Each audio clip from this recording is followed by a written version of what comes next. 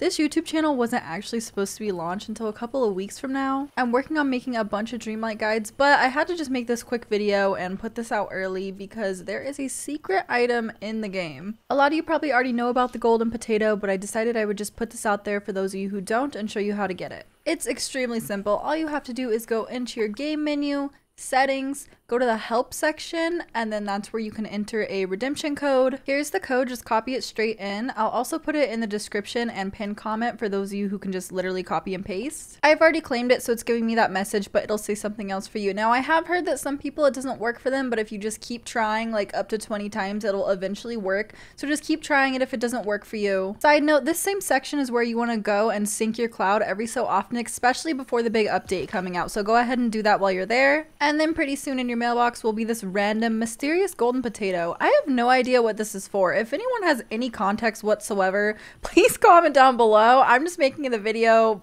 you know, so you can get it, but I don't know what it's for. It does have the quest icon, so I really do not know. But you might as well just grab it because it's free and it's there and it's the first redemption code that I'm aware of. As of today, December 2nd, 2022, it did work for me and it also worked for me in one try. I do play on PC. Um, let me know how many tries it takes for you down in the comments. This literally caused me to make an early video and launch this channel a little bit early. I probably won't be posting for at least a week or two when I start my actual guide series, but you know, if you come across this video go ahead and subscribe if you want because there'll be lots of Dreamlight content coming. Also, no judging my ugly island because it's totally under construction right now. Nobody was supposed to see this. Okay, anyway, have a good day. Thanks for watching. Hope this helps.